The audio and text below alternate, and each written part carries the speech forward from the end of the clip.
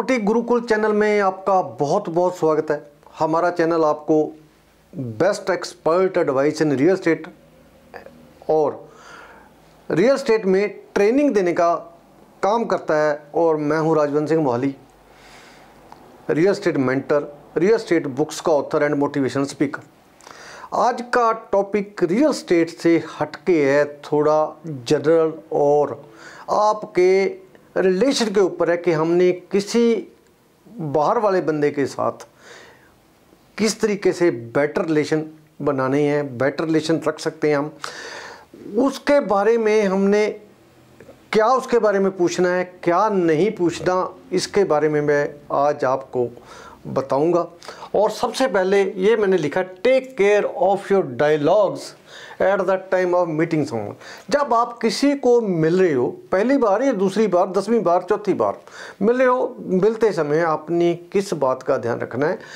जब भी मिलते हो तो सबसे पहले मैंने लिखा है पर्सनल इन्फो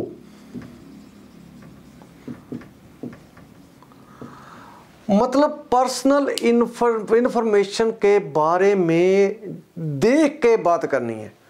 कई बंदे ऐसे देखा मैंने कि अपनी पर्सनल इंफॉर्मेशन शेयर करने में शाई फील करते हैं, शर्म महसूस करते हैं।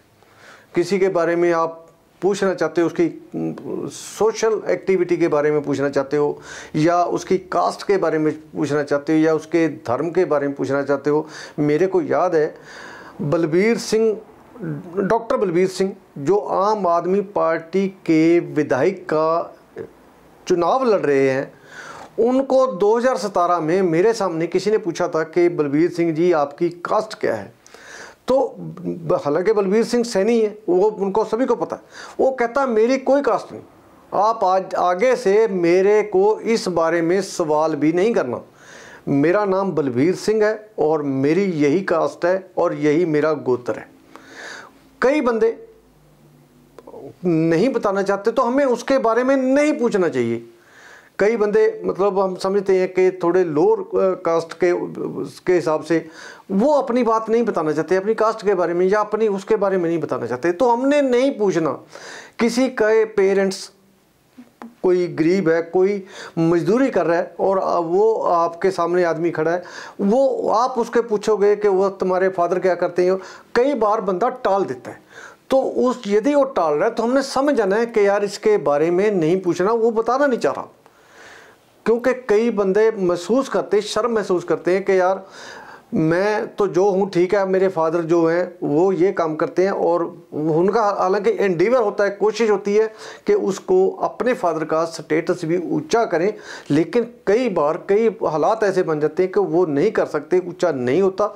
तो हमने उनको ये रियलाइज़ नहीं कराना कि आप एक गरीब आदमी के बेटे हो।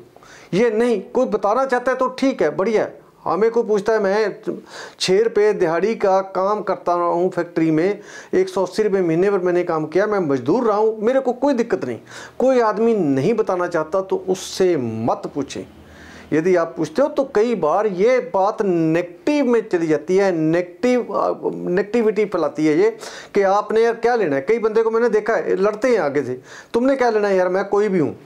तो हमने ऐसी बात नहीं, हमें अपने काम पर फोकस करना है कि हम उस आदमी के पास बैठे हैं उस आदमी के पास हमारा क्या काम है, किस तरीके से लिए उसके पर्सनल इन्फॉर्मेशन तब तक नहीं जानना जब तक आपने उसके साथ करोड़ों रुपए का लेन देन नहीं करना। छोटी मोटी आपके जो होती है ट्रांजेक्शन ठीक है, आप उसके करेक्टर के बारे में जानो, वो क्या है, कहाँ रहता है, किस तरीके से तो इतनी तो बात ठीक है। आपने उसके पोतड़े नहीं फोलने। जैसे हम, हम सुना है मैंने पोतले फूलने का मतलब भी उसके पूरे खानदान को जानना नहीं है जहाँ भी जो भी तो वो रहता है। इस बात से उसका जो कॉन्फिडेंस है आपके साथ बना रहता है। कई बार आदमी में सामने वाले आदमी में जब हम ऐसा सवाल उससे पूछते हैं उस पर कम्प्लेक्स आ जाता है इन्फीरिटी कम्प्लेक्स आ जाता है। तो हमने उसको अपने से इन्फीरियर महसूस नहीं करवाना। मैंने राजस्थान में देखा है एस सी एस टी की ज़मीन सस्ती मिलती थी वहाँ पर। वो जो लोग थे वहाँ के लोग, लोकल लोग थे, वो उनको ये रिलाइज कराते थे कि तुम एस सी हो, तुम एस टी हो। यार नहीं, ऐसी बात नहीं करनी। ऐसी एस टी से हमने क्या लेना है? या हम कहते हैं कि कुदरत के सब बंदे, जब एक मतलब एक नूर पे सब जग उपजे, कौन भले को मंदे? मतलब परमात्मा ने जो बनाया, सभी को बराबर बनाया। तो हम कौन होते हैं उनसे पूछने वाले?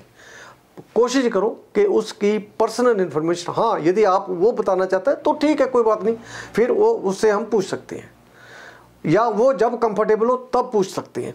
तो उसके बाद मैंने ये लिखा, अगला नंबर दो जो लिखा है मिस हैप मिस हैपनिंग कई कई फैमिली में कोई बात हो जाती है मिस हैप हो जाती है, और वो इस तरीके की मिस हैप होती है कि वो आपके साथ शायद कई बार शेयर नहीं करना चाहते। कोई वैसे जनरल मिसहैप हो जाए तो अलग बात है। कई बंदे वैसे इरिटेट हो जाते हैं। मैं आपको मज़ाक वाली बात भी एक सुना देता हूँ। हमारे मास्टर नरेंद्र शर्मा यहाँ बनूड में थे। उनके फादर की डेथ हुई। तो उन्होंने टेप रिकॉर्ड में रील रिकॉर्ड की और रील रिकॉर्ड करके टेप रिकॉर्ड वहाँ ड्राइंग रूम में रख लिया। जब कोई आता था कि आपके फादर को क्या हुआ तो वो उसका टेप का बटन दबा देते थे। कि ये सुन लो, कि मेरे को पता है कि तुमने क्या पूछना है। कहते मैं बोल बोल के पागल हो जाता हूँ सारे दिन में। तो ये ये टेप सुन लो, आपको पता लग जाएगा मेरे फादर को क्या हुआ है। ये तो चलो हँसी के, वो मतलब बहुत फनी करेक्टर था बंदा। और ये, जो बात है, बात बिल्कुल सच्ची है। मतलब बात सच्ची है, लेकिन उसके बात करने का ढंग ऐसा था कि वो आदमी आपको हैंडल कर लेता था। तो हैंडल करने में मिस है। कई बार, मैंने ये देखा है, कई बार किसी के बच्चे ने भाग के शादी कर ली। तो हम उसके पास जाते हैं और वो बंदा पहले अंदर से बहुत दुखी है। तो हम मिर्च मसाले लगा लगा के उससे पूछते हैं। तो वो आदमी आपसे परेशान होता है और आपके ऊपर वो अपना गुस्सा निकालने तक जाता है। कि आपने कह लेना इस बात से यार। तो ऐसी बात नहीं करनी। हमें उस आदमी के साथ रिलेशन जो है, उसको कैसे कंफर्ट कंफर्ट लेवल में रख सकते कंफर्ट जोन में रख सकते कंफर्ट मतलब कंफर्टेबल रख सकते, इस बात का हमने ध्यान रखना है। ना कि उसको ऐसी बात पिंच करवानी है, जो आदमी हमें बताना ही नहीं चाहता या हमारे साथ शेयर नहीं करना चाहता। किसी के बच्चे ने भाग के शादी कर ली तो क्या हो गया यार? अब यूक्रेन में मतलब लड़ाई लग रही है यार, बच्चे बाहर हैं, फंसे हुए हैं। हम जाके उनका हमदर्दी के साथ साथ यदि हमदर्दी करते फिर तो ठीक है। हम कई बार उनको क्या ज़रूरत थी वहाँ भेजने की? आप पागल हो, भूखे मर रहे हो, ये ऐसी बातें नहीं करनी। वो जो आदमी यूक्रेन में फंसा हुआ है, वो उसका परिवार दुखी है पहली। आपने ऐसी नेगेटिव बात नहीं करनी। ठीक है, जितनी बात सामने वाला बर्दाश्त कर सकता है, उतनी ही बात करनी है, बल्कि ऐसी बात करनी है कि सामने वाला बंदा आपके साथ खुशी खुशी वो बात बता सके शेयर कर सके। ऐसे नहीं कि वो हम कोई नेगेटिविटी फैलाते रहे तो वो नेगेटिव उससे नेगेटिविटी से नाराज़ हो जाए और हमें उठने के लिए बोल दे कि यार आप उठ के यहाँ से जाओ, मैं आपसे कोई बात नहीं करना चाहता। इस बात का आपने ध्यान रखना है। नंबर तीन पर मैंने लिखा नेगेटिविटी नेगेटिविटी किसी बंदे के जब हम मिलने जाते हैं, उसके बारे में, उसकी जो नेगेटिविटी है, या किसी तरीके की आप में नेगेटिविटी है, ये नहीं बताना। ये मतलब बात डिस्कस नहीं करनी। बी पॉजिटिव बी पॉजिटिव हर समय आपने पॉजिटिव रहने की कोशिश करनी है। यदि आप पॉजिटिव रहोगे तो आपका रिज़ल्ट बहुत अच्छा आएगा, सामने वाला बंदा भी आपको लाइक करेगा। मैंने कई बार देखा बंदा हॉस्पिटल में गया है, हॉस्पिटल में एडमिट हो रहा है और वहाँ पर जाके उल्टी बातें करते हैं लोग कि यार आपको तो बहुत सीरियस बीमारी है, ऐसे बीमारी वाले बंदे तो कम बचते हैं, ऐसे बीमारी वाले बंदे तो बहुत जल्द निकल जाते हैं दुनिया से। और नहीं यार, ऐसी, बल्कि ऐसी एग्जांपल देनी है जिसमें उसको हौसला मिल जाए कि यार मेरे को कुछ नहीं होने वाला। आप ये कितने आदमियों की आप एग्जांपल दे सकते हो, जिसमें आप वंडर मैन जो है, उसकी एग्जांपल दे सकते हो अरुणमा सिन्हा की एग्जांपल दे सकते हो। बहुत एग्जांपल्स ऐसी हैं जो मतलब ऊपर ले घर से, ऊपर जाके वापस आए हैं लोग, जीवित हो गए।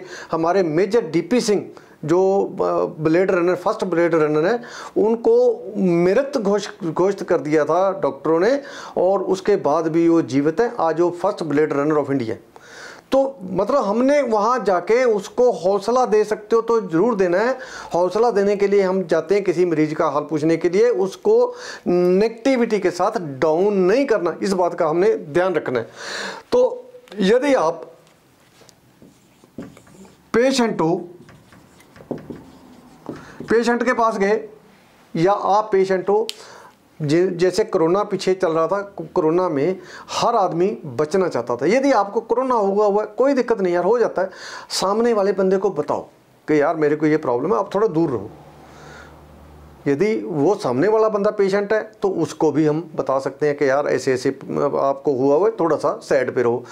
यदि हम, हमें कोरोना हुआ हुआ है, हम उसको सामने वाले को नहीं बताते तो वो भी हमें बहुत ज़्यादा मतलब बुरा भला बोल सकता है कि आप तेरे को तो तू मरेगा और मेरे को साथ लेके मरेगा। पेशेंट जब भी है तो उससे हमने बचाना है। वो खास करके उन बीमारियों में जो बीमारी लाग की है, जो हमारी छूत की है। एक दूसरे को छूने से होती है, पास जाने से होती है।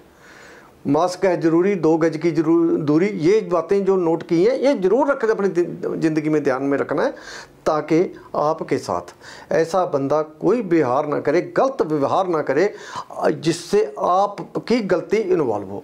ये, क्योंकि यदि आप इस तरीके की गलती करोगे तो सामने वाले बंदे पर बैड इफ़ेक्ट पड़ता है, और आपका जो उसके ऊपर इम्प्रेशन है, चाहे जितना मर्ज़ी बढ़िया हो, वो इम्प्रेशन डाउन हो जाता है, कम हो जाता है।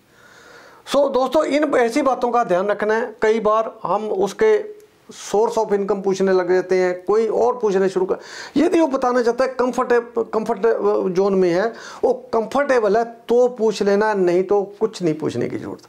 उसके साथ आपको मतलब है, आप उससे बात करो, इतना तो आपकी जान पहचान है ही है तो कि आप, ये फ़र्स्ट डे तो नहीं जा रहे उसके पास, यदि फ़र्स्ट डे भी जा रहे हो तो उतनी बात करो, सारी चीज़ें एक दिन में नहीं पूछनी धीरे धीरे आगे बढ़ना, और धीरे धीरे आगे बढ़ते, आपको सारी की सारी इन्फॉर्मेशन उससे मिलेगी और आप भी कोई बहुत बड़ा लॉस तो करने नहीं जा रहे, उसको करोड़ों रुपए तो देने नहीं जा रहे। यदि आप करोड़ों रुपए देने जा रहे, फिर हमें उसके बारे में पूछना चाहिए। जहाँ हमें करोड़ों रुपए देने होते हैं बिल्डर्स को करोड़ों रुपए देने होते हैं, किसी और को, वहाँ हम कुछ भी नहीं पूछते। जो हमें वो सामने वाला दिखा देता है, वो कागज़ लेके आ जाते हैं। क्यों? वहाँ पर हमारा कोई ना कोई रिश्तेदार, हमारा कोई दोस्त इन्वॉल्व होता है तो वो लेके चला जाता है कि नहीं जी, जो मैं बैठा हूँ बीच में, बस ये। जबकि मैं बैठने वाली बात मैं कहता हूँ, वो आदमी का ज़्यादा विश्वास ही नहीं करना चाहिए, जो बार बार कहे कि मैं बैठा हूँ। तो तुम्हारे बैठने का हमें कोई फ़ायदा नहीं, हमने काम करना है, एक नंबर में काम करना है, बढ़िया काम करना है, ताकि हमें पछताना ना पड़े। वो तो सिंपल मैसेज था इस वीडियो का। और ये वीडियो अच्छी लगे लाइक करना शेयर करना। यदि आपने अभी तक चैनल सब्सक्राइब नहीं किया चैनल सब्सक्राइब करके घंटी वाला बटन ज़रूर दबा दो। कोई सवाल हो आपका कमेंट बॉक्स में लिख सकते हो। बहुत जल्द मिलने वाला हूँ आपसे। आप इस तरीके की बातें सीखते रहो और अपना कद बड़ा करते रहो। सीखेंगे हम, पढ़ेंगे हम, तभी तो आगे बढ़ेंगे हम। हम आगे बढ़ें सभी आगे बढ़े, मिलके आगे बढ़े, ऐसी मैं कामना करता हूँ। पढ़ेगा इंडिया, तभी तो बढ़ेगा इंडिया। आपका दोस्त, आपका होस्ट राजवंत सिंह मोहल